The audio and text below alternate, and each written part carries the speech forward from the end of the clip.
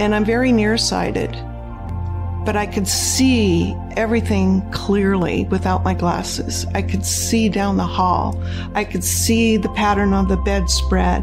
I could see myself in the mirror. We had a mirror in the room. I could see my reflection in the mirror. I looked out the window and the sky was blue, even though this was the middle of the night. I forgot about wanting to die at that moment. And then all of a sudden, I became one with that light. I was absorbed into this incredible bath of warmth, of unconditional love. To me, that was God. And I felt at home. I just wanted to stay there forever. And it was almost like at that thought, I was like, oh no, we can't stay here forever. It gently retreated, and I was back in my bedroom, and I looked up, and oh my God, that was Jesus. And he said, don't waste your life thinking you're not loved. And as soon as on that word loved, I was back in my dark room. I had to rethink everything in light of that experience.